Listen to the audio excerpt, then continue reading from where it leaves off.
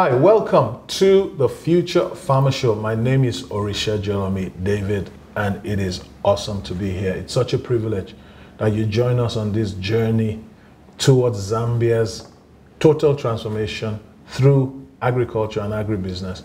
On the Future Farmer Show today, we're going to be talking about why do we have this program? Why do we do the Future Farmer Show? Are we just trying to be on television, creating content for you to entertain? What is it about? We'll talk about that. So today it's bumper. Today it's a lot of goodies, and please join us. So we're looking today, like I said, at the vision of the Future Farmer Show. Something else we noticed going on because this is a show that is market oriented. It has you in mind. It has Zambia in mind, and we realize we've been talking about farming, but the rains have have been delayed, if you like, and um, we wonder where the rain is, and we have been talking to it to come, but what is that farmer going through right now that the rains have been delayed? What's the mind? What's the pressure? What's the risk in agribusiness on this thing? So we will visit and reinforce the area of planning in. And then we will also look at what is it that our partners have to offer to us. And we'll be talking to Namonga on what the Future Farm AGCO agriculture company, what they have for us, and then we'll come back to conclude. On today's program, we have agronomists and farm specialists to be talking through to us on different concepts. So here we go. Don't go away. We just started. It's going to be a wonderful program helping you become a better farmer. Let's go into it now.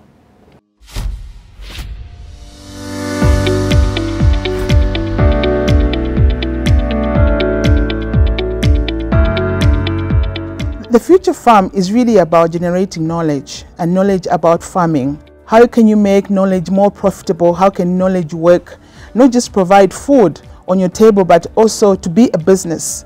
Because we know that farming is really the employment of over 60% of Zambians and actually over 40% of Africans. The benefits um, of having uh, mechanization on our farms, quite a number of them. Uh, one of them is uh, you have good quality of work on your farm. So to the existing farmers, uh, what is key uh, with, with, farming and the future of farming is that uh, you need to be knowledgeable.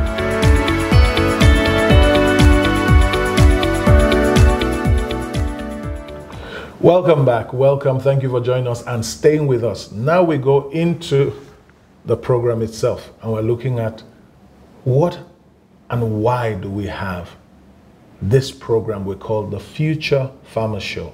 The Future Farmer Show basically is saying we have an opportunity in agribusiness, in agriculture, and how to use agriculture to fulfill our dreams as a nation, as individuals.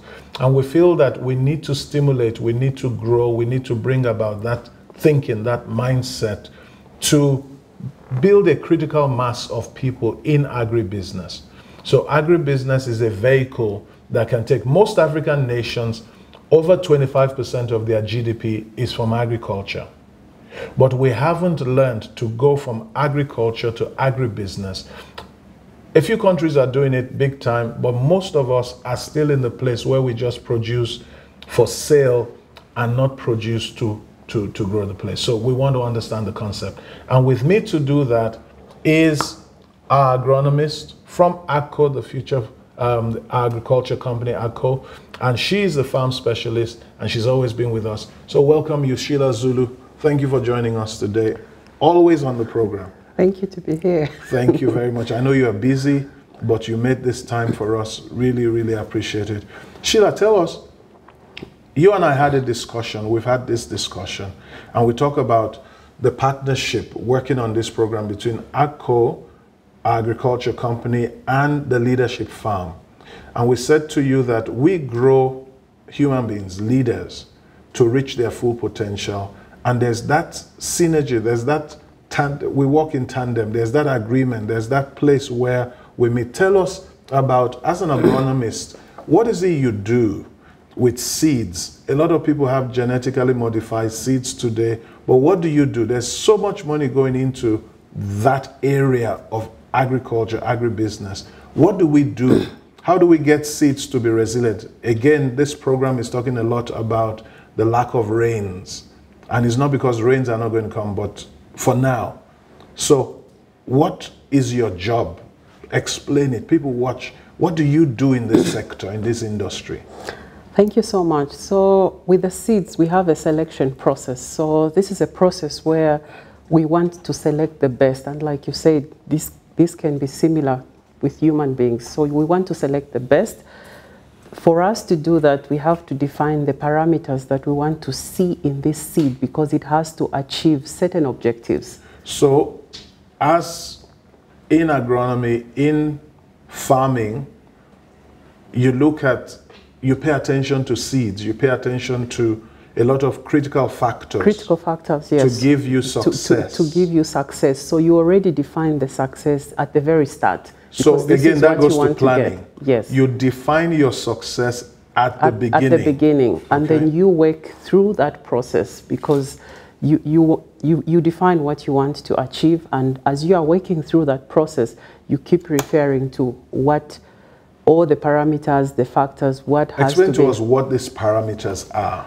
So for on the side of seed, uh, the selection process, when we define the parameters, this can be drought, it, it should be drought tolerant. So meaning that when we have less rainfall, this seed should still be able to perform. So basically what you are saying is you actually train the seed. Yeah, we actually train you, the you, seed. So like we actually you, plant you, it. You give it training, like they train human beings. They train human you beings You train the to seed to perform at a level, you train the seed to perform under certain conditions. Yeah, so that it's able to withstand, but then some natural uh, factors will be at play to actually give that seed that potential. So you tend to... Explain that to me. Natural factors giving the seed potential. So seeds have potential. It has potential because it's living. It has mm -hmm. potential. So it's waiting for the favorable conditions to bring out that potential. It's potential. And it's the same with the human beings that they have to, the human being should be developed to see the potential, to see what they can achieve. Okay. And it's the same with the seed.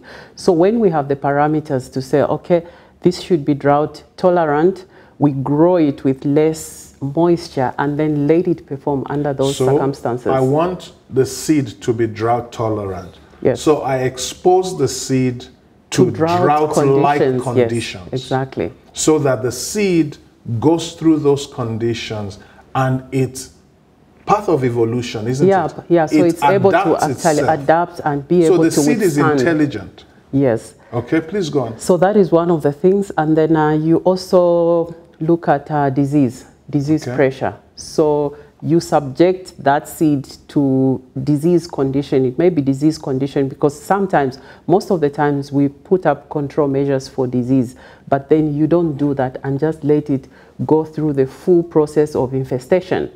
So sometimes, maybe that's why sometimes we drive on the road and you see some farms and you see some people put their names on that farm, but when you look at the crop, it's looking, is this a farm? yellow. So they are actually exactly, yeah. So, so the seed yeah, it could be one to of, something like to, that. To those conditions, yes. So you may have drought, you may have disease, you may also have pests. Uh, there are certain pests that are devastating. So you may also have pests where you subject it to those conditions. So you're building the seed to be resilient, to be resistant, it, and to perform in spite of those in things. spite of all of that and that is done through a process because every season has different weather conditions so you don't want to rely on one weather condition because when you have this seed you want to be sure that when it goes to the market you've tested it and you can confidently say this is your disease pressure level this is your pest level pressure this is your your your, your drought tolerance level so you do it over time and um, minimum five years, but I think up to seven years. So the seeds, the seeds we plant and we get this great harvest from, every such seed has gone through, particularly the seeds that have gone from the seed companies, they have gone through this training period so they can now tell you this seed is going to produce because we have tested it, we know what it can do. Yeah, we have tested it and it's not in one location. So um, for instance, a seed meant for the Zambian uh, farming community. It will be tested in different parts of the country because uh, you may wish to know that Zambia has three ecological zones. So these different ecological zones will also have different rain pattern and distribution. So you want to have tests across the country such that when you get your sample, it's representative that this seed will perform in this manner because you get from all representative points across the country. And therefore, when this seed is done, you can now tell and say, this yield will come. And you talked about creating male seeds, female seeds. Tell me about that. What's that about? Yeah, so, so what you end up with um, are, the, are the parents. So those parents. So those parents are the ones that are the ones with when you subjected, you, you trained it, it performed better than other seeds. You separate it to the next you is separate it to the next years until you get to the final. So those are parents. That is not what is going to the market. Those are parents. So you use the parents now to multiply the babies that we are going to dress and so, pack. So even seeds bring forth after their kind. Yes. Okay, so you've trained it with drought, you've trained it with disease, you've trained it with pests, you've trained it in the three ecological zones. It has withstood the pressure it's now like a diamond seed now withstanding pressure. And then you now use it to produce seeds you can sell to other people. Exactly. So these parents will be male and female. So you find that you won't, you may not have all the traits from one. So it's a combination of these two. So you may have the height, you may have a higher yield on one, you may have a drought tolerance on one, and uh, maybe uh, disease tolerance. So you are combining all of these. So these are not from one. So that's why we cross them now to give you the baby, which should have both. Okay. Yeah. And why we're bringing this, and to the viewer, why we're bringing this to you is for you to understand the partnership we have with agriculture company AGCO. AGCO has the specialization in the area of farming, cropping, training these seeds, working with industry partners to bring the best yield.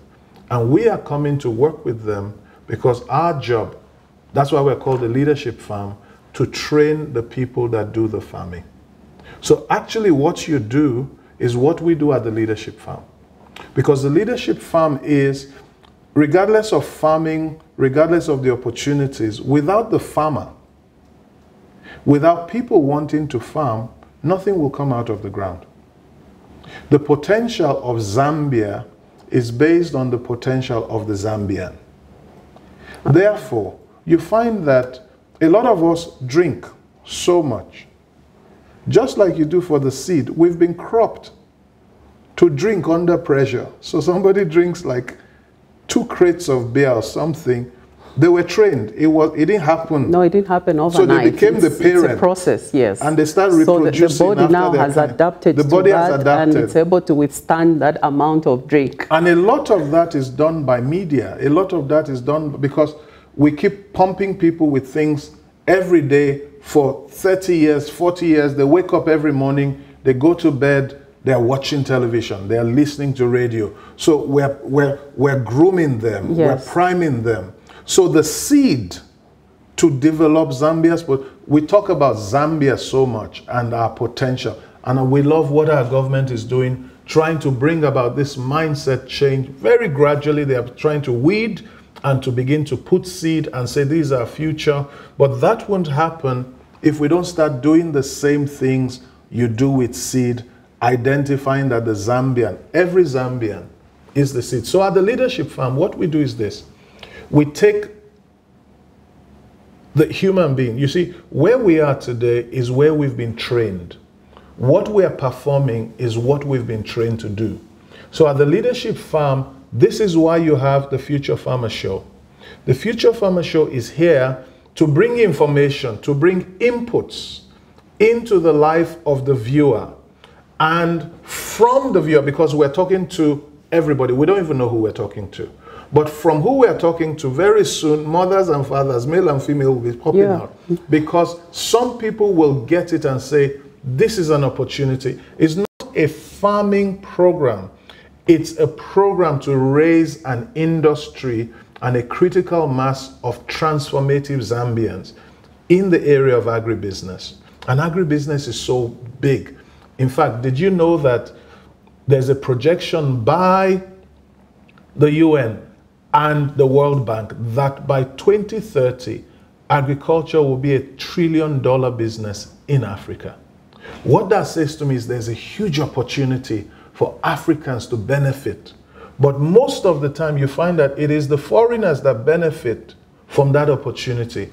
So we at the Leadership Farm say to ourselves, how can we get the majority of our people, Zambian youth, to embrace agriculture, agribusiness by using these programs and these interactions to begin to grow. Just like AGCO does the seed, we recognize the Zambian is the seed for our future. And therefore, when we're on television, when we are doing this, we are saying this is our vehicle of planting, the medium by which we plant our future, the future of Zambia, into you. That if we begin to work together and we see the value and the opportunity in agribusiness, we actually can become great. So, Sheila, what do you think? Again, it's something so I've teased you with. So, listening to you, yes, you have already identified the potential that this Zambian youth Huge. has. Yes. The way we identify the potential in the seed, and then we are able to foresee what it can. So we can predict our future if we create the right Zambian. Just like you can predict exactly, the yield. Exactly, yeah, it works the same way. So, it, uh, thank you. Say it again, please. Say it again, because you are the expert. It works the same way because. So, as there's crop science, there's human science. Yeah, so you are doing the human science. So, you've got the parameter. Yes. And then you want to give this out to the youth, to the Zambian, because you've got the to statistics the, there. Look at, look at who we're looking at. We're looking at the women. A lot of people think farming is a man thing, but the truth is this farming is a lot of times a woman thing. It, it's a woman thing, and traditionally, really, it's, it's the women who are Look doing at the, the youth. most of. Uh, a lot of youth think that oh, it's not it's not something trendy to be a farmer, so they will go and wear a tie and suffer for I'm applying for a job. Meanwhile, the biggest area, so you see urbanization. Urbanization, yeah. most of the young people are leaving yeah, the villages not knowing that the money is in their it's, backyard. It's actually in the backyard. Because they think that they'll go abroad. Sorry, they'll go abroad to them is living wherever to Lusaka. To, to Lusaka, yeah, from so whichever part that's of what the it country, is. Yeah. So I leave Shangombo and I'm coming to Lusaka because I think there is gold in Lusaka. And some of us end up as street kids. But if this can go out, particularly hearing from professionals like you, we can change Exactly, yeah. So and make them see, if seeds have potential, we have more potential. Yeah, in the, in the human being. So if we can have this change of mindset, understanding the potential, the resources that are available, because like you said, the money could be in Shangombo, but is somebody able to see that? So if they don't have that mind, then they come to Lusaka, and then people, some people in Lusaka who, who, are already enlightened, they'll go to Shangombo and make the money. And you see, the thing is this, viewers, think about this. Most people, when they think about farming, they want to go and farm when they say they are retiring. They're not coming to farm when they are viral, viral, when they have energy, when they have creativity, because we feel that at that time we are old. So you see somebody, how do you go and start farming when you retire? Retire means you've started to regress. So what we are saying is don't retire and be a farmer. Be a farmer and never retire. Yeah, that's, that's, that's a lifelong career. It's a lifelong yeah. career. Yeah. And the opportunities are there. So the problem is not Zambia. The problem is not our potential. The problem is the Zambian the Zambian has been cropped. so if you can crop seed to withstand drought, to withstand pests, to withstand disease, disease it means you can crop Zambians to withstand all the pressures. Because who succeeds is not the best. Who succeeds is the most resilient, the most adaptive, the most resourceful, and the most tenacious. Those are the things that bring success. Yeah, and, and you see with the seed, when we are selecting for all of those parameters, the bigger picture there is higher yield because a crop that is able to withstand all of those ultimately gives you the higher the yield. So it's yield. the same with the individual. So they are able to adapt to different environments. They are able to, to use their minds, be creative, be innovative, but ultimately you want to grow Produce them. better. Yeah, produce better. So you find, therefore, that if you continue and you get your children and you get your household to sit here and watch with us when we are doing the Future Farmer Show, we're talking about the future of our nation. It means that by the end of this 13 weeks, 52 weeks, 13 weeks is a quarter, 52 weeks is a year. By the end of, you do it for seven years, five to seven years.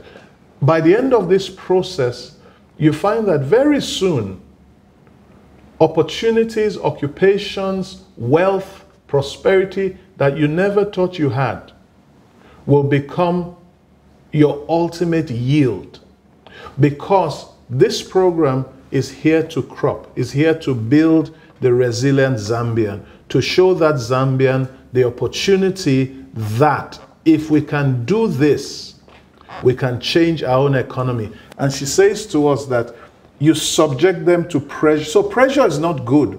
It's not bad. Pressure brings out the best It, it brings out the best. and shows us who are the best. Yeah. So the cream rises to I the top. I think there's a common saying that pressure makes uh, diamond. Diamonds. exactly. Diamonds are diamonds because they are just ordinary coal Yeah, and that then- withstood pressure over time. And then they end up, yeah. and they end up having But value. in most cases, people want to be in their comfort zone. They want to go to comfort zone. They want to move to Lusaka. But very few things will grow in the comfort zone. For us in farming, comfort zone, even for the for the crops, you know, sometimes we we won't give it fertilizer and just let it push through.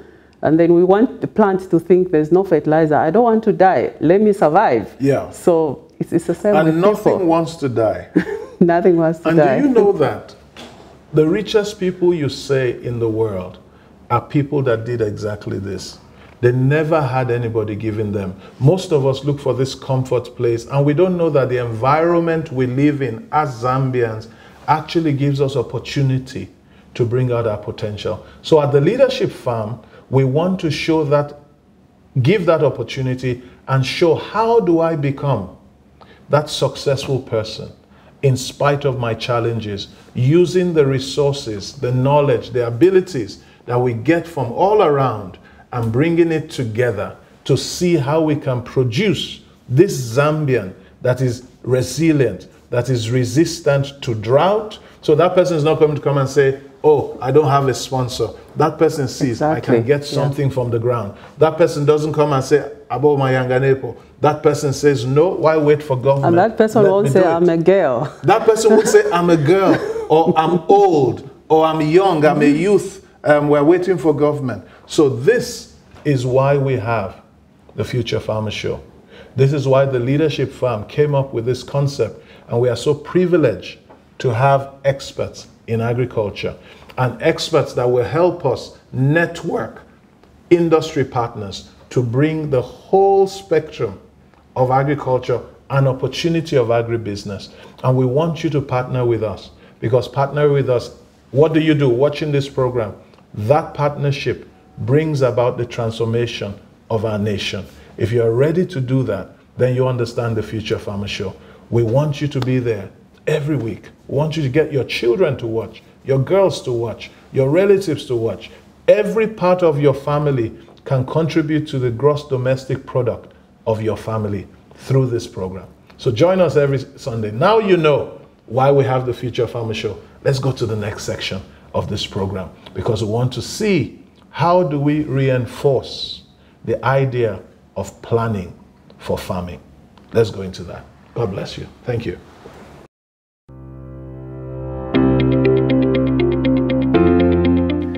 Welcome to the Martin Richenhagen Future Farm, based in Lusaka, Zambia. The Martin Richenhagen Future Farm is a modern state-of-the-art facility offering education and training in mechanized sustainable agriculture for farmers in Zambia and Africa. We offer facilities such as lecture rooms, student accommodation, and a state-of-the-art fitted kitchen and restaurant. We also offer facilities for business and social events. We hope you enjoy your experience here at the Future Farm.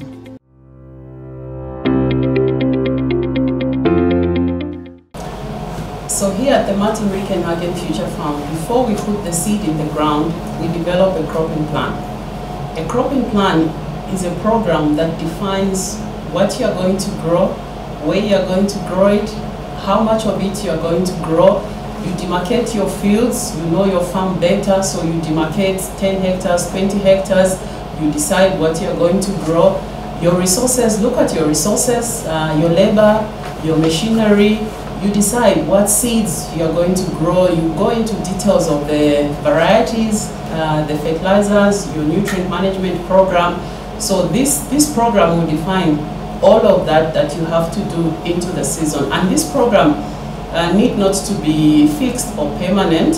It can be revised, it can be tweaked as the season progresses. Um, so, but to have a program before the season starts, it, it's very important because it helps you to manage the stress and the chaos that may arise uh, during the season, but it also helps you to manage a lot of uncertainties. You know, with farming, a lot of things are unpredictable. We, we are subject to harsh weather conditions, and when you have a plan, at least that, that serves as a guide for what you need to do during the season. So to have a successful plan, the other thing also is um, your record keeping. You have to keep records because when you sit down to brainstorm and define a plan for the season, you need to refer to the previous season. And for you to do that, you need to have records of the previous season. What did you plant where? What were the yields? Uh, how is your crop rotation? You know, the rotating of crops where you grow different crops on one piece of land. That's very important because as you are farming, you need to improve on your soils and you know that uh, different crops will interact differently with the soils. So you want to look at your crop rotation. That is important. So the previous records, you need to have that in place for you to define a very effective cropping plan for the next season. So here at the Martin Richenhagen Future Farm, uh, the 2021-2022 farming season, um, our cropping plan is focused on sustainability practices, which is uh, the SDG number two, if you wish. So we are looking at finding a balance between food production and preserving the environment because we, with farming, I think farmers, we have a huge responsibility of taking care of our environment because we interact with the environment on a larger scale than anybody else because of our operations. So as we as we carry on with our field operations, food production, we also have to preserve our environment. So our cropping plan for this season at the Martin Rick and Richenhagen Future Farm, we are focusing on sustainability practices. So we are saying we are growing food, but we should also preserve the environment because this is the only way we preserve our natural resources. And the big thing is the soil because that is the huge resource for the farmer. Every seed goes in the soil. Your, your practices in the field will determine whether you are preserving the environment or you are depleting the environment. So that is very important.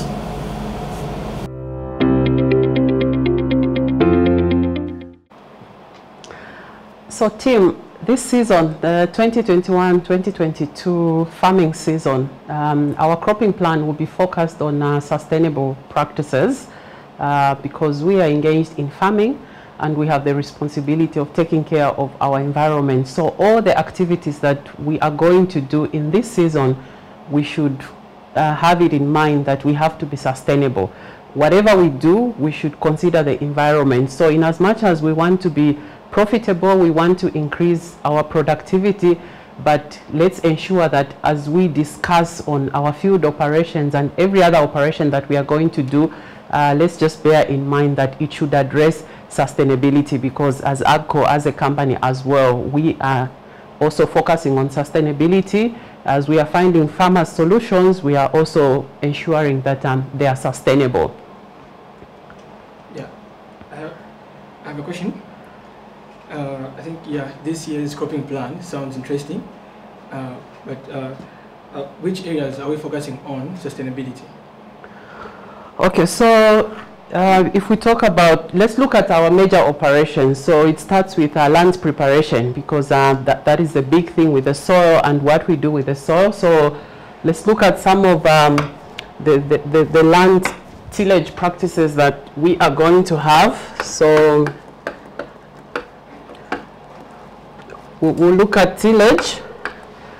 Then now we'll also look at um, we'll look at pest management. So especially with our cereals, um, I think since 2017 we've had uh, fall army worms and I think we've seen this pest to be very devastating, especially in the maize crop. So everybody who is engaged in maize production, they're worrying of um, fall army worms. So we have to come up with some control measures that will control the pest, but then we should also be mindful of the environment. What are we going to do that will address it will control the pest, we'll have our, we'll have our yields, but then we should also, whatever method we come up with, it should be also, it should be environmental friendly. So, so we should bear that in mind. And I think we can also look at um, soil improvement.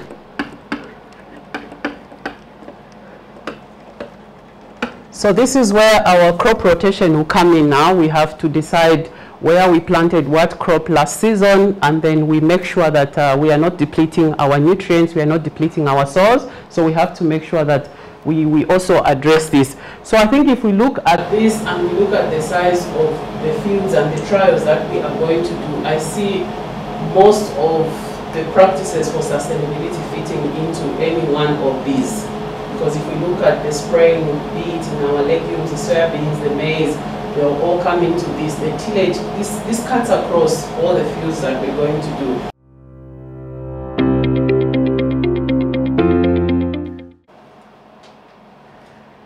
So this is an overview of our cropping plan for the 2021-2022 season. Uh, but please um, note that uh, this cropping plan, it addresses all farmer categories. So our trials are in categories. We have trials for small scale farmers, uh, emerging farmers, and commercial farmers. So if you look at um, our main three umbrellas of the sustainable practices that we'll be focusing on, if you look at tillage, this cuts across all farmer groups. So if you come on uh, reaping, uh, this will come on to mechanization, but it, it, it, also sits very well with the subsistence or, or smallholder, if you like. If you come to the strip till, this is minimum tillage, and um, even a person who is using a hand hoe, uh, though I'm not encouraging that because uh, there, there's some precision that you may not achieve with that, the accuracy and land usage, but uh, it's good for you to know that as you are doing that, the future is that uh, you get precise, you get accurate because we want you to increase productivity on your small piece of land. So if you look at uh, strip till, you find that this also applies to the subsistence farmer who is using a hoe because they are only digging a hoe where they want to plant. And this is exactly what the strip till does. It opens up a furrow where your planter is only coming to place the seed. And then if you look at zero till, this is for all farmers, small scale farmers, emerging and commercial farmers. This is where you leave the land undisturbed. And like I said, this is a long term because you want to promote the microbes in the soil. And uh, it's not all crops that, um, that, that, that you need to till the land.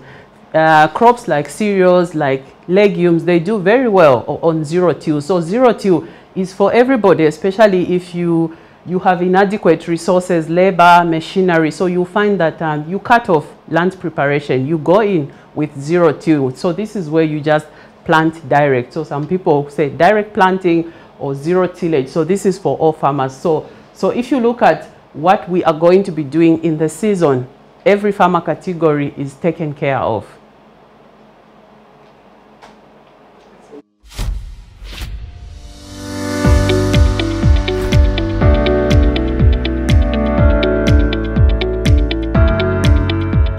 The Future Farm is really about generating knowledge and knowledge about farming. How can you make knowledge more profitable? How can knowledge work? Not just provide food on your table, but also to be a business. Because we know that farming is really the employment of over 60% of Zambians and actually over 40% of Africans. The benefits um, of having uh, mechanization on our farms, quite a number of them. Uh, one of them is uh, you have good quality of work on your farm. So to the existing farmers, uh, what is key uh, with, with, farming and the future of farming is that uh, you need to be knowledgeable.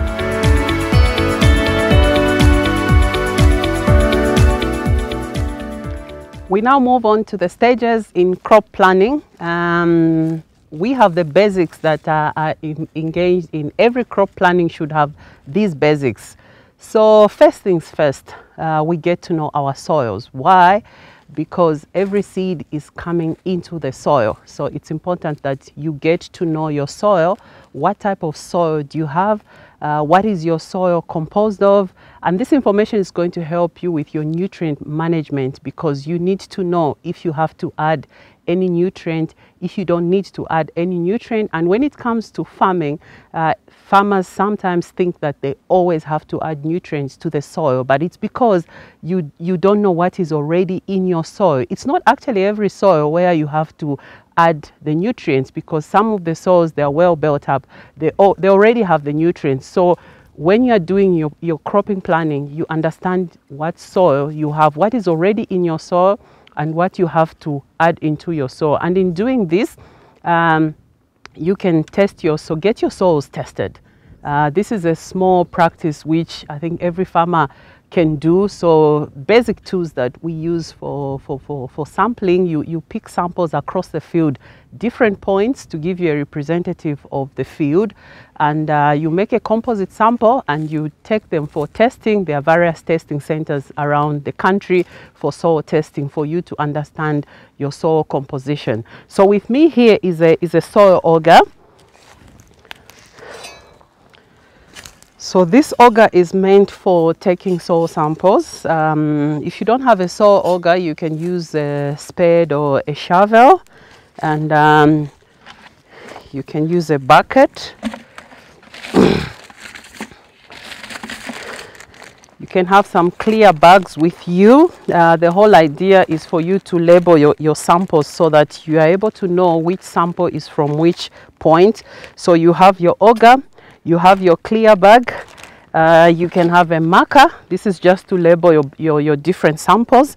And then you have a bucket. This one is for making a composite sample where you, you pick your sample from uh, the one that eventually goes for testing. Okay, so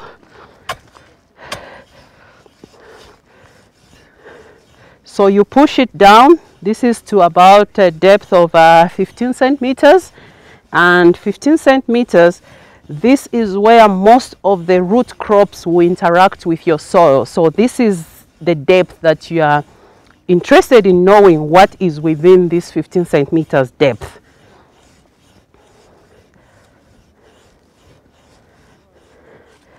So when you pick your sample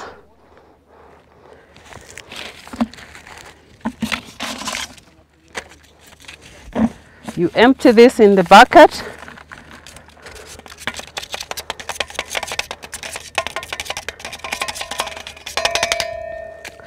So you can make a pattern within the field, uh, normally a W shape, uh, reason being that you want to represent the entire field.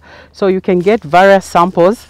Um, each sample, you put it in a bucket and then you mix up and pick a sample from there, put it in a clear bag you label it either A or B, and depending on how many samples you want to pick within the field, then you can gather your samples for testing.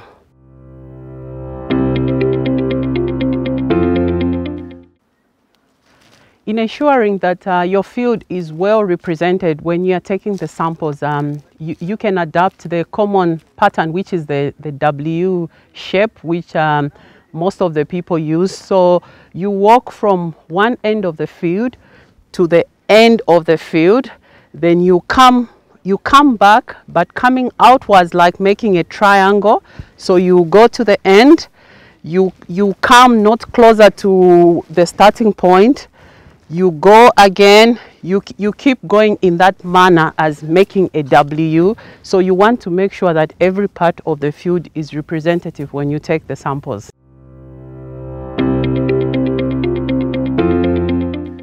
So after knowing what type of soils you have, the next stage is crop selection.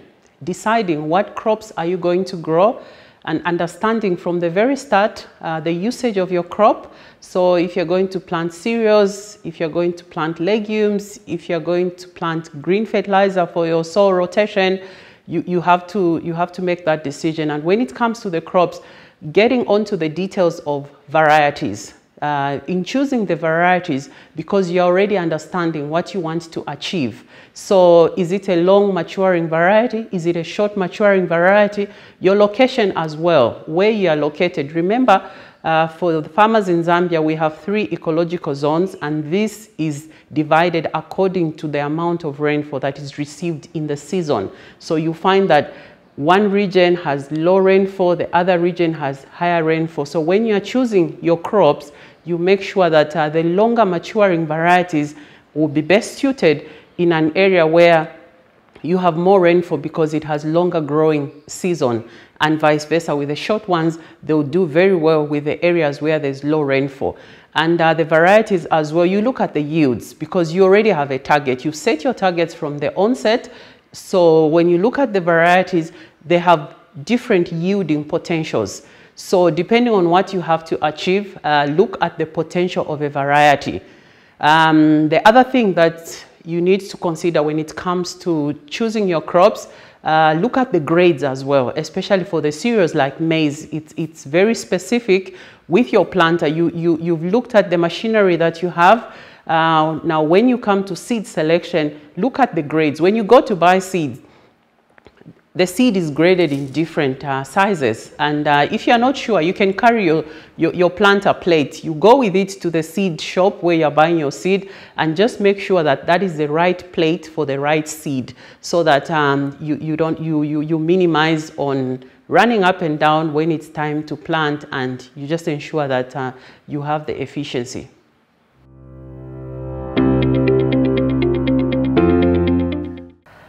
So your next stage in uh, crop planning is uh, field operations. You have to understand what field operations you'll be undertaking in the season and um, uh, what resources you have available, what resources you have to outsource, uh, what size of fields, um, what size of fields will actually help you in um, deciding what resources you might need to outsource or what sources, what, what resources are already available. So uh, if, you, if, your, if your field uh, requires mechanization, uh, what spraying are you going to be implementing? Do you have a sprayer? Uh, do you need to hire a sprayer? Um, do you need to, to do land preparation? Are you doing zero tillage? So all of this information will help you with, um, with your field operations. You need to understand that um, the, the operations that you are going to undertake will guide you in, um, in understanding um, what, what you need to do with, with, with, your operations. So understanding the, the operations that you undertake will help you in your planning. Uh, maybe you need to, to outsource labor. Maybe you need to, you need to hire equipment. Um, just all of that information put down and it, it's going to give you an effective plan. At least you have a clear picture of what, what you need to know with your, with your fields. So the size of your fields, the operations that you need to undertake, all of this will help you to plan, understand what resources are already available, what resources you have to outsource. Uh, yeah, so the size of the field, if it's 100 hectares, is it mechanized? Is it a subsistence? And uh, we, are you going to be weeding by hand? Are you going to be using herbicides? Um, understand all of the resources and just get that into your planning just to make sure that um, when it's time to implement the operations, you know already the resources that um, you have at hand.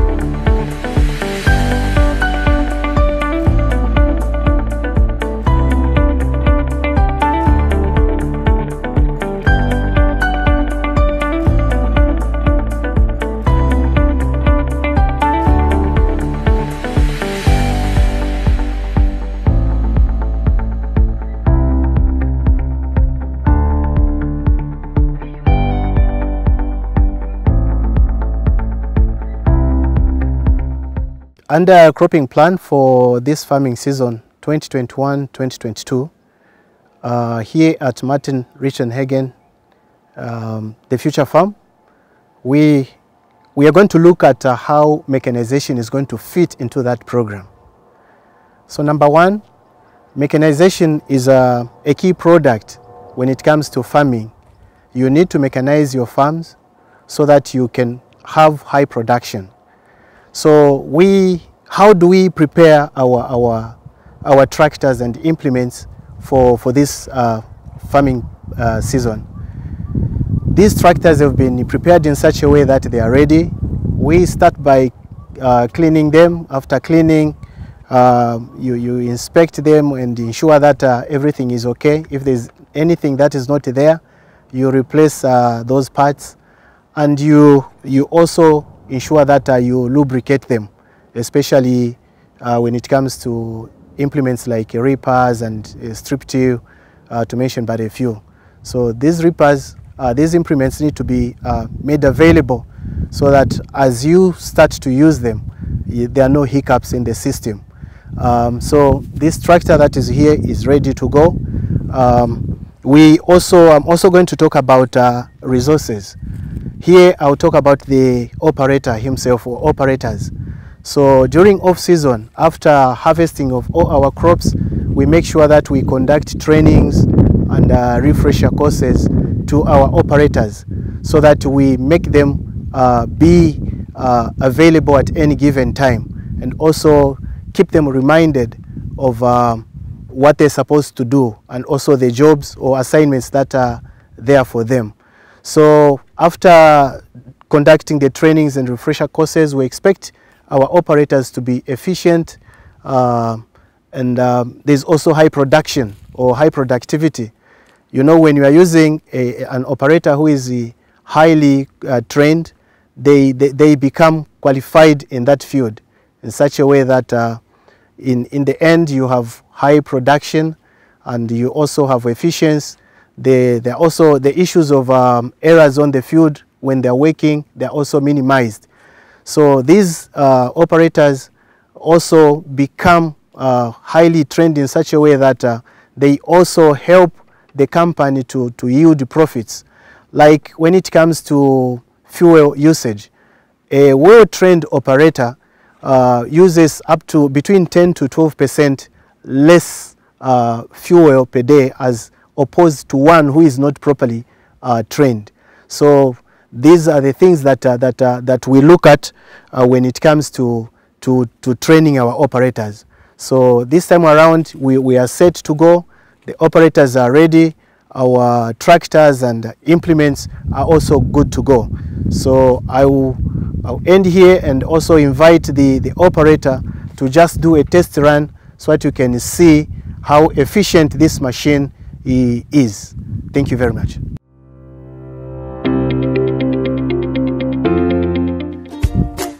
Here comes uh, Felix Walia.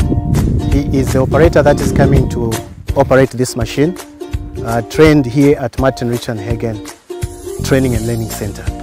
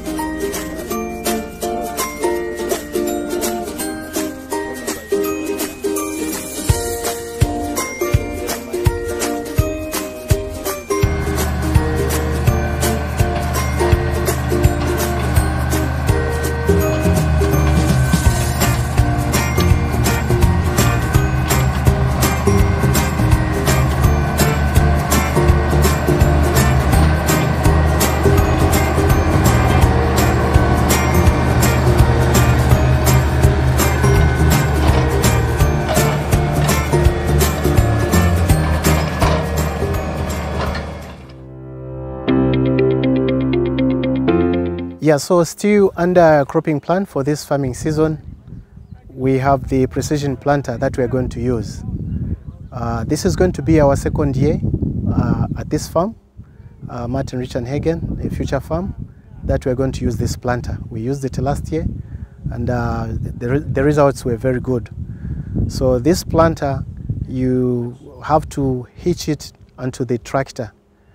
Um, inside, when you hitch it to the tractor, then it communicates. You know, the tractor has, has a, a, a computer where you have a display for monitoring what is happening as, as you are planting.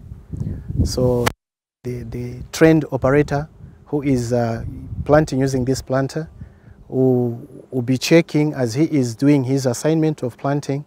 He, he's going to be looking on that screen. Uh, the screen is there to show him what is obtaining. If he is planting well, the, it, it will show him. If there is a blockage in the system, whether of the fertilizer or the seed as he is planting, the, the, the, the, the, the, computer will pick it and then uh, immediately the, the, the, the, operator will stop and correct that uh, situation. So that is one of the uh, other advantages of using the precision planter. When it comes to depth, uh, you just set it manually at the back there. You set it manually. For the fertilizers, you have those knobs in front. Again, you set them manually. But when it comes to how many seeds that you want to plant per hectare, you use the, you just key in on the screen using the tractor uh, when this thing is uh, connected. Thank you very much. Hello, uh, this is uh, the two-row planter. Um, it is small when you look uh, at it, but uh, it is quite durable and it's good and uh, uh, perfect when it comes to using it. We've been using it since 2014 and it has given us good results. So again here what matters is you mount it to the tractor and you need to have somebody who is trained to do the calibration and it will give you good results. So it's good to go. Yeah, here we have the strip till. This is one of uh, our two uh, implements that we're going to use uh, this farming crop, um, farming season. We have looked at the, the ripper, which breaks the solid pans of our soils, but this one just cracks. It will just open up where you want to plant, and then the planter will just come there and drop the seed there. So it is a, a, a strip till. It doesn't shovel over all the soils of, of, of your field when you are, when you are using this um, uh, this implement. This is the tractor that we're going to use under small scale and emerging farmer uh, pro projects that we have at the farm. So we haven't forgotten about our small scale and emerging farmers.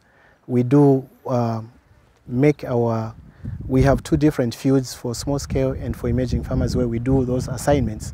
And then uh, it has proved that uh, a small scale farmer or an emerging farmer uh, can only do better if they use uh, machines or they mechanize their, farm, their, their farms. Because with mechanization, you can't go wrong. Remember, farming is a business. Thank you very much. We expect to see you as we are going to do our planting. We'll talk about calibration of the planters and other information. Thank you very much.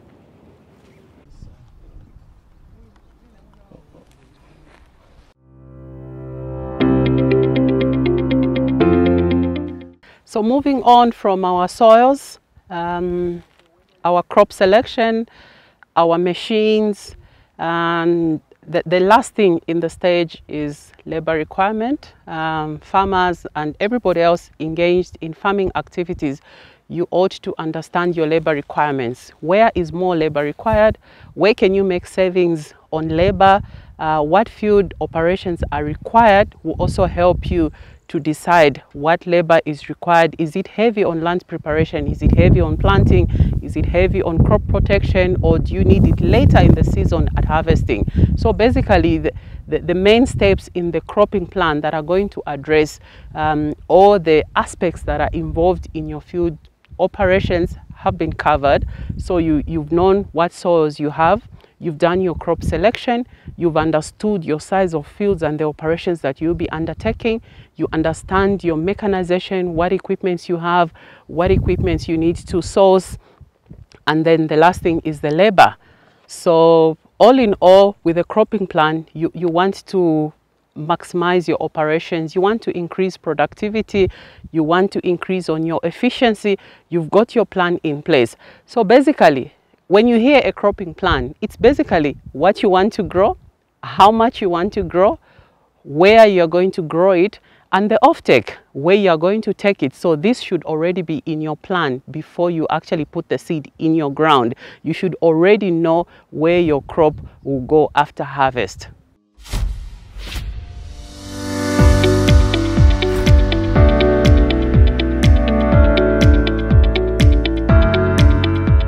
The Future Farm is really about generating knowledge and knowledge about farming. How can you make knowledge more profitable? How can knowledge work?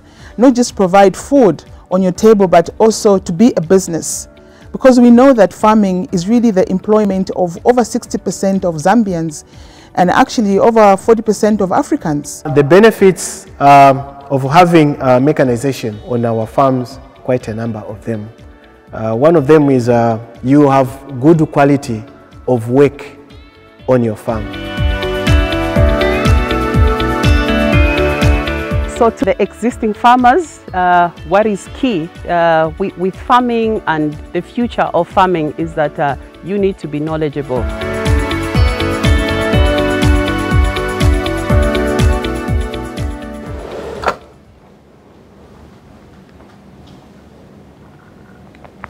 So you have seen the video and you have been reminded on the importance of planning. That program was titled Crop Planning. But today we have Sheila. Sheila, you taught us how to plan, but you never told us the rain can delay or the rain can stop, tease us, and go on holiday. Now we have planted. It's a business. We have seen risks. People are afraid. Their plants, their seed, is it going to? So how do you how does this impact on the importance of planning to a farmer? You are the agronomist. Why is planning so important, particularly with the uncertainty? You can't control the rain, but you can control your plans and you can plan for no rain. Tell us. And don't tell me, tell us. Yeah, so like we said um, a couple of weeks on uh, crop planning, so this still remains an important component of the farming process because where we are now, I'm sure some of you are questioning whether you needed to have a plan or not. Is the plan working? But it still remains an important component in your farming because uh, this allows you to put up your resources available. You look at your seeds, you look at your fertilizers, uh, you look at what you're going to grow, what crop, how much of it you grow, where you're going to grow it. And um, one of the components from the cropping plan is that um, it will help you to, to, to manage uncertainties and uh, just the stress and the chaos that comes in the season. So you are able to manage all of this. But now we are like, okay, we are all faced with these uncertainties and uncertainties are things that we can't predict. And uh, weather is one of, uh, one of the uncertainties. And out of the weather component, moisture is the critical factor for the farmer. And the majority, I know that you do dryland farming. A few have irrigation facilities, but most of us are into dryland farming. So the uncertainty that we are faced with is lack of moisture in this season. So the question is, uh, what do we do? So now you go back to your planning. You, you realize that when you're choosing your seeds, um, you want to understand what is the drought tolerance for this seed because all of those details should come out in your crop planning. Sheila, who do you ask these questions? You go to the shop, you go, I don't know where they buy seeds because you see, I have to repent. Now, you go and sit with the person, you know, it's like you're going across, you say, um, excuse me, drought tolerance seed. You mean people answer you?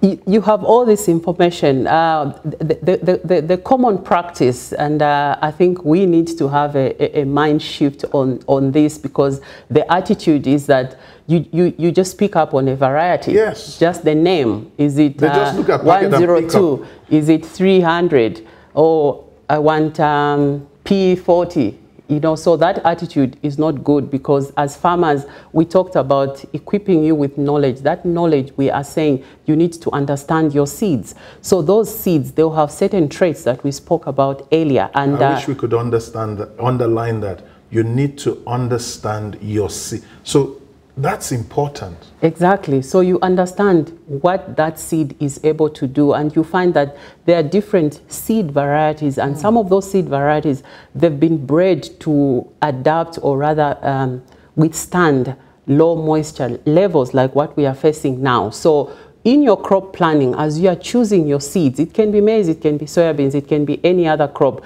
but then look out for that, spread the risk you spread the risk because your crop is subject to weather conditions which you are not controlling. Can I ask a question? Yes, please. So it means that I can go to the shops to buy. They cost probably the same. I don't ask questions. I'll buy the wrong seed and I can cry Exactly, and uh, you, you and you, I can lose money. You may have your neighbor with the same crop, and then their their seed or their crop is withstanding the same weather And somebody conditions. will say that's witchcraft. somebody will actually say that's witchcraft. Yes, but it's just a lack of knowledge, and that is why we are emphasizing that be equipped with the knowledge because you need the knowledge to implement the farming practices. Awesome. I'm converted. So now, this is the value of the Future Farmer Show. The knowledge, it's free of charge. Please, can you give us some more? The rains haven't come, so I must ask questions, understand my seed. What else? Yeah, so you understand your seed. So this you would have already done. You understand your fertilizers. So that mm -hmm. you, you've already got your fertilizers. So what do I need to understand about fertilizers? So with the fertilizer, if you've already applied it in the soil and you have dry soils, then you know that your fertilizer is sitting in the soil because there's no activity. Yeah. It's depending on moisture. So you need not to worry, your fertilizer is, is in the soil. As long as there's no moisture, there's no interaction with the soil. So you understand all of that. What is the fertilizer composition? How will it interact with your soil? So you understand that before you actually put it in the ground. When people say, look, I didn't go to school, this is hard work, why are you making me ask questions about this? It's, it's not really hard work, and that's why with farming, we are not asking you to, to be academic. There's no exam at the mm-hmm. end.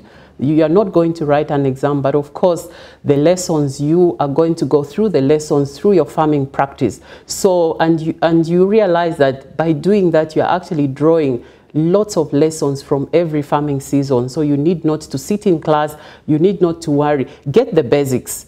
Understand your seed, just what you need to know. This is the variety, this is what it's going to give you, this is how you plant it, successful planting, we talked about it. Yes. This is what, so you get all those basics, implement them, and throughout the season, draw your lessons, and the next season you find that you would have drawn so much knowledge from the previous season, you build on it. This is the most important thing I think you said to me just now. You are saying that even when there's no rain, that farmer is made a farmer by the experiences they go through. Exactly. So, not having rain is not fatal, it is training. It is a training. It is that not having rain that makes me learn about how to farm with less with, yeah, with, with, less moisture, yes. So it, it actually grows me. So the value of this, what I think is pressure now, is going to show in my in it, my It's going to life. show because then now you understand, and uh, like I said, you get so much lessons from one season to another season. So you may have low rainfall. You understand this is what happens. This is how crops uh, perform, and uh, if you are crop diversification, that is very good because you tend to see crop performance, different crops performing differently in a, in, in a given season. So we have practical, this is what we call practical wisdom in business school. Practical wisdom is there are things you have to learn, but nobody can teach Nobody you. can teach you. you so you it is actually yeah. this stimulated environment that brings value. So what we are praying, oh, take this away, is important for me to be a master farmer. Exactly, yeah. So you master that and then you keep perfecting it, perfecting it, and you are getting better because where your neighbor would be crying over something, you know what to do. The school yeah, to learn farming is on the field it, farming. It, it's on the field. It's by the rain. Exactly. The rain teaches you. It, it teaches you the, all the practices. Everything teaches you. Everything that comes up in the season, how the season plays out, you draw your lessons from and there. And year by year, new shades. It, it changes. It changes because we are subject to different weather conditions. So it we don't have one weather pattern one season. So every season, every year, we are learning different lessons. You know, I have enjoyed the program already. Just this just really makes me so excited. I'm not even thinking about the lack of rain. I'm thinking about the wisdom that the lack of rain is giving us in our journey towards this. So this is where in the developed worlds the crisis they face makes them create new solutions, innovative solutions. If we don't face the challenges, creativity and innovation diminishes. Exactly, and and if you look at the the, the, the agric industry, an example of the of the, the, the seed the seed sector, you find that th there's innovation going on there. Based on these conditions. Yeah, so the, the, they are working on the seed to adapt to different conditions, and then we want the farmer to also understand these different conditions. So the, the inputs are developed. We want this farmer also to be at that level where they are able to manage different weather conditions. Fantastic. You know that this is an important role why you need to have relationship with an agronomist. And in doing that, some of us may say, I can't afford an agronomist. You can get in touch with the agronomist on the website. So go check out the website for AGCO and I'm sure you are going to find a link, by the way, you see how on AGCO pages, and you can get in touch and say, Dear agronomist, I've given you a hookup now, Dear agronomist XYZ, and I'm sure she will give you a response. So please take advantage of having an in house agronomist to advise you. And I'm so sure she'll reply to you. Sheila, we really thank you for this. Is there anything else? You've really enriched us with wisdom today um, the value of knowledge in planning is so important. What else do you think we need to pay attention to in this season? What do we get out of the season?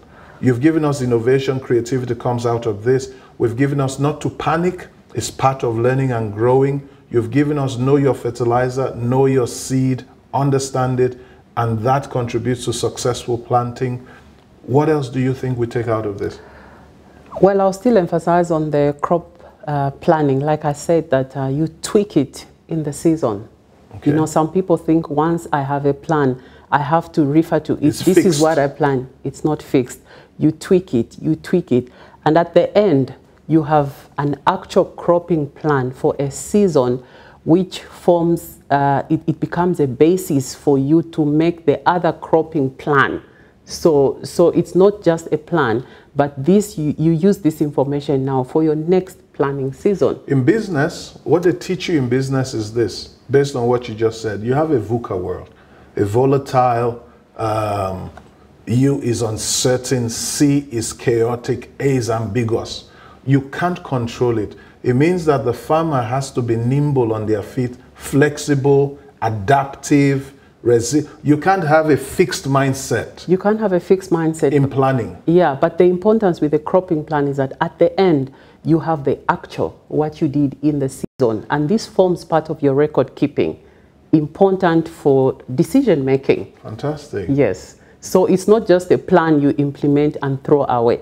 It's a plan that at the end you, you, you consolidate it, you, you key in actual events and practices. If you put in one kg of seed in this field, you, you have the actuals at the end of the season. And this document now is your cropping plan and it's, it's, your, it's your basis for the next management decision for your cropping plan. Where I have a challenge is you are talking a lot of Chizungu, big English, management. You know, we, we don't do all this big English.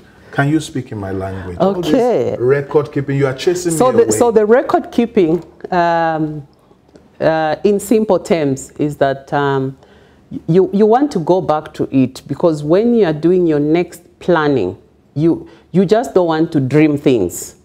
You, you, you, want to have a reference, and that should be an actual reference. It's not literature from some research elsewhere. This is what you have done. And that's why I was saying you draw lessons from your own farm to improve on your productivity. So you make reference to what you did, and the idea is where did I go wrong?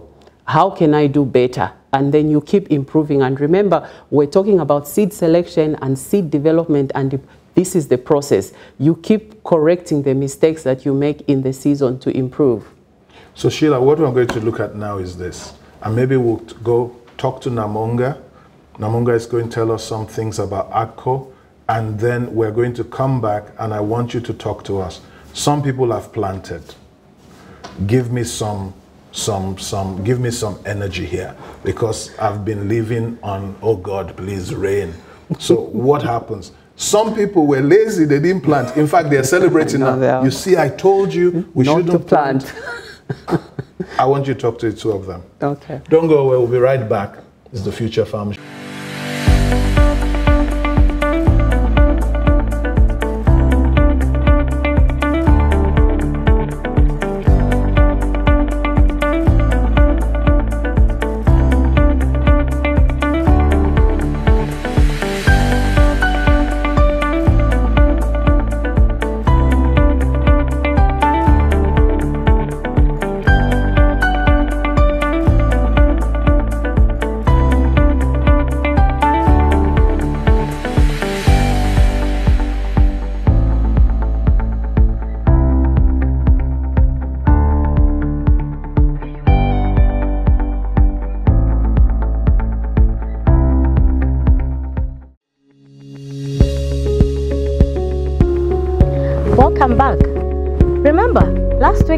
week I promised to show you another exciting spot at the Martin Richenhagen Future Farm.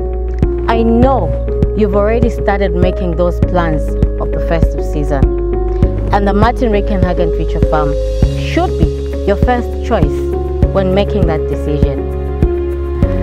Our farm is situated in Silverest area along Great East Road, three kilometers away from the airport roundabout. It could only take you five minutes drive to get to our destination.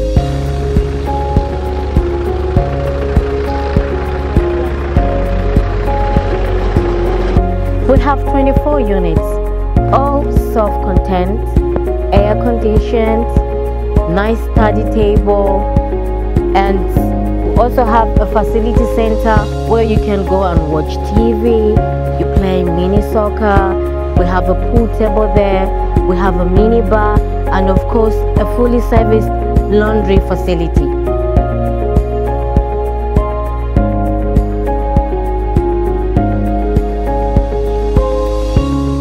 Our room rent includes bed and breakfast, all served in the restaurant. We do have a beautiful modern restaurant with an international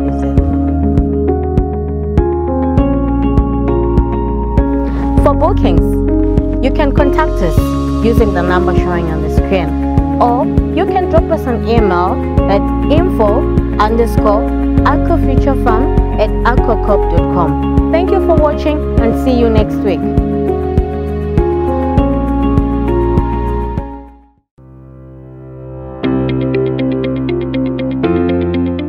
Welcome to the Martin Richenhagen Future Farm, based in Lusaka, Zambia. The Martin Hagen Future Farm is a modern state-of-the-art facility offering education and training in mechanized sustainable agriculture for farmers in Zambia and Africa. We offer facilities such as lecture rooms, student accommodation, and a state-of-the-art fitted kitchen and restaurant. We also offer facilities for business and social events. We hope you enjoy your experience here at the Future Farm.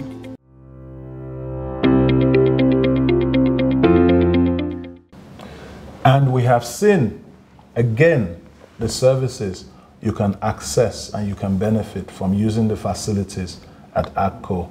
Just down the road, on the way, opposite Barnes Motel, you heard that. And we continue as we come to the close of today's episode. Today's episode that looks at the challenges you face, the uncertainties in farming, and we can deal with the uncertainties. So we're going to go back to our farm specialist, Sheila, and she's going to tell us, for those that have farmed, what tips can she give? We believe the rain is going to come. We have prayed, we believe, but there are still uncertainties. What day, what time, what hour, we don't know. So what do we do? She's the specialist. And then for those that haven't farmed, reinforcing planning, what do we do? Sheila, talk to your relatives. Talk to Zambia. Okay, so we have uh, scenarios. Um, we talked about uh, moisture being a weather component which forms part of the uncertainties.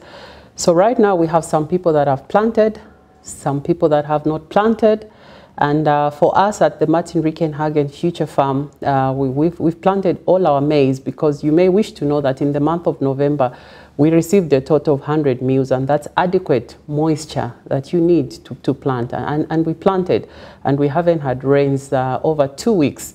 So those that have not planted, of course, simple message is you wait because uh, the, the ground is dry, there's no moisture, so that won't form, form part of your successful planting. So if you haven't planted, you wait. But something to consider as well, if you haven't planted, you can still go back to your seed varieties and um, just check on your on your variety, the varieties that you've got. Just make sure that you have a wide range of maturing periods. So you may have the medium maturing, especially for maize because it's very sensitive with moisture.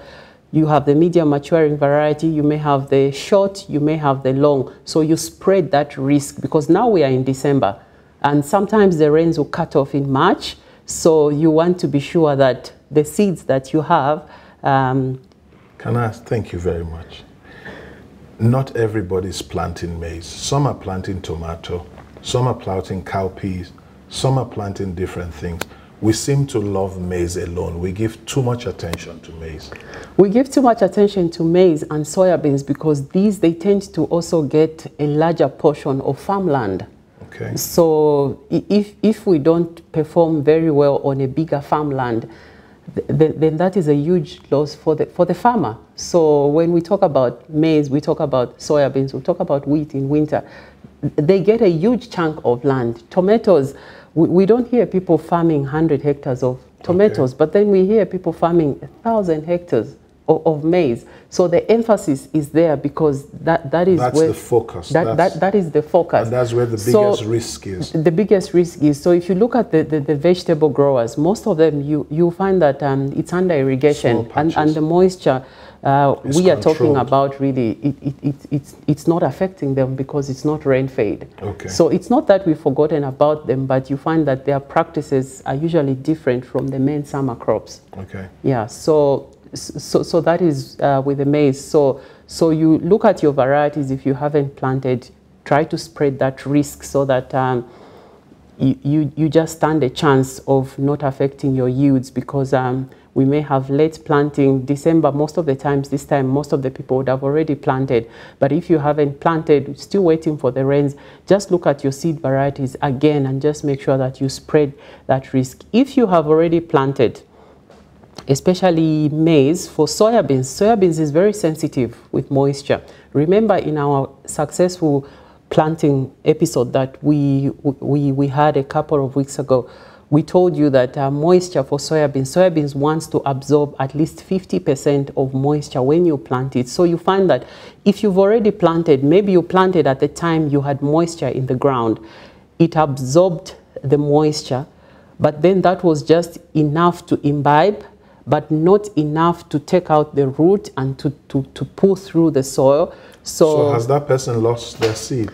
Uh, so that one, uh, they have to make the assessment. Yeah, they have to make the assessment. Um, sometimes it might withstand because we, we just look at the soil surface, but sometimes you find that depending on your um, practices in your soil, you might find that your soil is, is able to conserve moisture. So yeah, so, so they have to make that assessment. And then uh, for maize, uh, maize withstand, I think maize will be slightly stronger than maybe in simpler terms, stronger than the soybeans when it comes to moisture. It's able to withstand and adapt the, the, the dry spell. But uh, one thing also to look out for, especially for the maize growers, um, if you've already planted and uh, your field, you know, the weeds will also come up. So when you plant, you've got rainfall, the weeds are going to come up. Competing so one of, with the same moisture you are competing with the same moisture because there are some weeds that are favorable in arable fields. They, they like to grow where we grow our crops.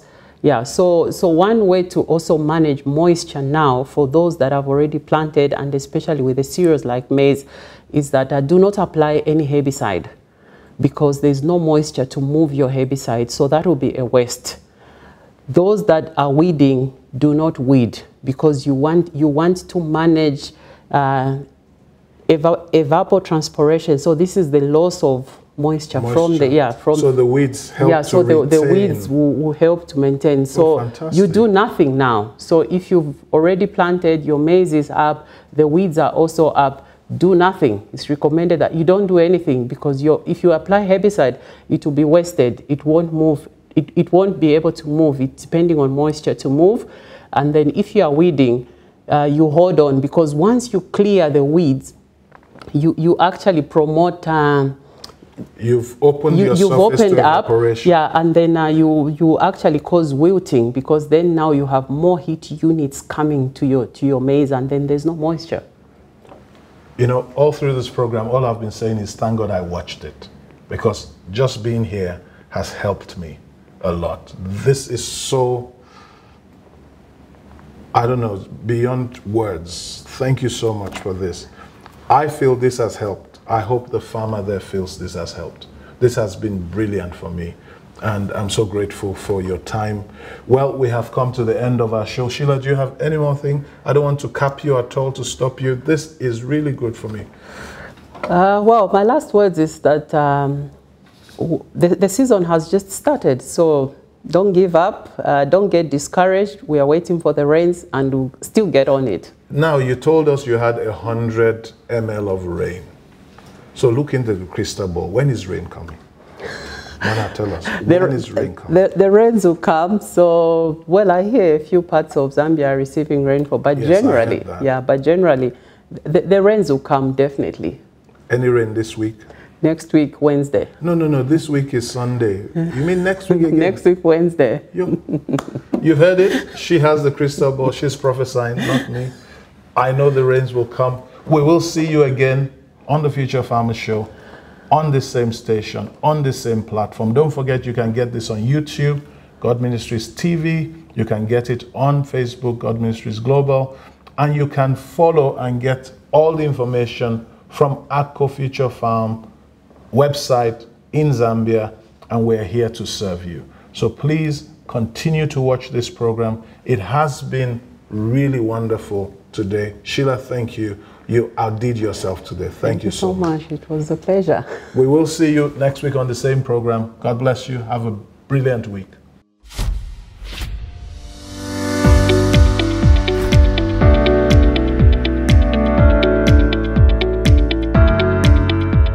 The Future Farm is really about generating knowledge and knowledge about farming. How can you make knowledge more profitable? How can knowledge work?